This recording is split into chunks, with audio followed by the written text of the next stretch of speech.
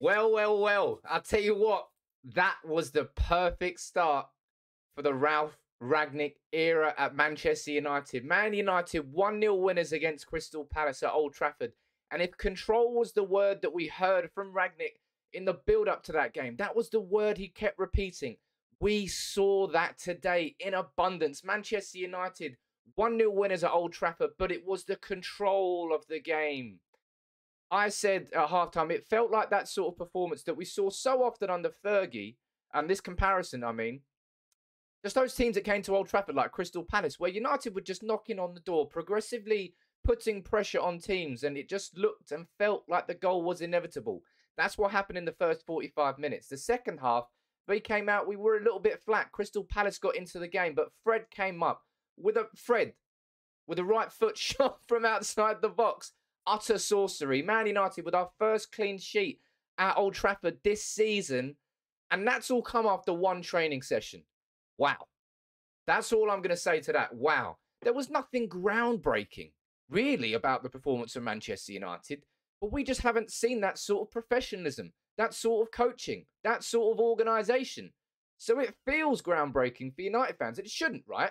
That's what United should be doing to teams at, at Old Trafford. They should come to Old Trafford and not have much of the ball, not be able to get out of their own half. That's what United did do previously. That's what Old Trafford was famous for. And I'll tell you what, Rangnick, man, who that was impressive to see Manchester United doing that today after one training session. I was so excited about him coming in. I even put a goddamn angel on top of the tree. And he's delivered. St. Fred, Angel Rangnick. Ah, oh, man, come on. If you're not smiling after that game, I don't know when you'll be smiling because Manchester United, look, all season long, we've been up and down and up and down and up and down. But United, last five minutes of that game, I was absolutely crapping myself. I was like, just hold out, hold out, please hold out. And we kind of a little bit got a little bit of pressure towards the end, but United held out. We got that clean sheet, first clean sheet Old Trafford this season. We should only need one goal to win a game. We should just be keeping clean sheets. Fred, you beauty. Let's have take a quick look at the player ratings here over on SofaScore. They got Fred down as an eight. They've got Telles down as an eight, who played very, very well. Who was your man of the match? You can't not give it to Fred, surely. After that goal that he scored, wow, man. Manchester United today. That's all you got to do. It's just a round of applause. As I said, nothing groundbreaking, but we don't need Rangnick to be groundbreaking. We need him to come in and influence the system, start making the players think differently. And today the players thought differently. We did see that 4 triple two formation. We saw Fred and McTominay sitting as the two box to box midfielders. They weren't two holding midfielders, they were box to box. You had uh, Bruno and Sancho dropping and splitting wide. You had Rashford and Ronaldo up front. So, not really the 4 2 3 1 you can see there. And it worked. It just worked everywhere. It worked. I thought Harry Maguire had a fantastic game. I thought he was using his ability. He does. He's good at crossfield diagonals, and he was. He was just calm, composed, controlled. They're not the three C's of Rangnick's philosophy, but they were certainly the three C's of Manchester United's defence today: calm, controlled, composed. All of them. Victor Lindelof. that was definitely a yellow card on Zaha at the end. Diogo Dalot, by the way, has played Wan-Bissaka out of the team. I would say, fantastic from him in the last couple of games. Really good right back performances from him, aggressive in the attacking sense, and also not leaving too much space in behind. Scott McTominay and Fred, it worked in midfield today. Jadon Sancho, probably, yeah, it was a 6.5. I would say that's quite fair. Sancho didn't have the best of performances, but look, Anthony Elanga came on. You're talking about what's Rangnick going to do with the youth. Elanga impressed in training. Elanga came on and got his first Premier League appearance of the season. Exciting times ahead for Manchester United, but just to see, I don't know, to see Man United playing like a professional football team should. Like they know what they did in training that week and they came and they replicated it on the pitch. It shouldn't be too much to ask. And as I said, nothing groundbreaking. It's just that as United fans, we got used to going into a game and not expecting much, not knowing what team we were going to see, not knowing what sort of performance it would be. And today, we didn't really know what sort of performance it would be because after only one training session, how much impact can Rangnick really have? Clearly far more than I think we thought he could. Absolutely incredible to see that sort of organization for the full 90 minutes after only one training session. These players, this squad should have been capable of challenging for the Premier League this year. And I hesitate to say if we were if we were that well, I don't know. If Rangnick was there at the start of the season, maybe we could have that conversation, judging by that. I'm not going to go over the top with hyperboles because it was only one performance, but just to see that level of performance after only one training session blew my mind. But I've got to speak about Fred, man. I've got to speak about Fred. He was absolutely fantastic today. Fred has been arguably man of the match in the last three games now. And Fred score from outside the box with his right foot. Mate, that guy couldn't hit a barn door from four yards, and he's going and bending a lovely finesse finish into the top corner with his with his off foot. What are you talking? That's pure sorcery. Fred's been sensational.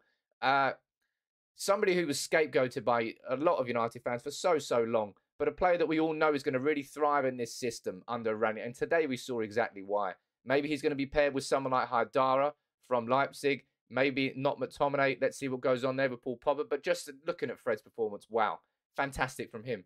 And Ronaldo, we were definitely putting more crosses in today. It's something I've wanted to be seeing from Manchester United this season. And Diogo Dalot certainly is better than Wan-Bissaka in that sense. I thought Rashford played quite well as well overall. Uh, everybody, every man, apart from maybe Jadon Sancho, and that's not me scapegoating Sancho, I'm saying just compared to the levels of others. But just the utter organisation, that is the biggest that was the biggest thing I was going. I said before the game. I said, look, you can't expect too much of a change in terms of the personnel, and there wasn't a change. It's the exact same team that played Arsenal. But take yourself back to what happened a couple of days ago against Arsenal. Just pure chaos. Pure chaos in defence. We conceded two, could have been a lot more. Pure chaos in defence. Today, just the the modicum of control, of composure of the players, they seemingly knowing what they are doing and what they are should where they should be on the pitch, what they should be doing. Man, how how how how has that happened after one training session? How has that happened after three days? It makes no sense. And maybe they've always had it in them. I don't know. But certainly what we've seen today is a real impact of coaching.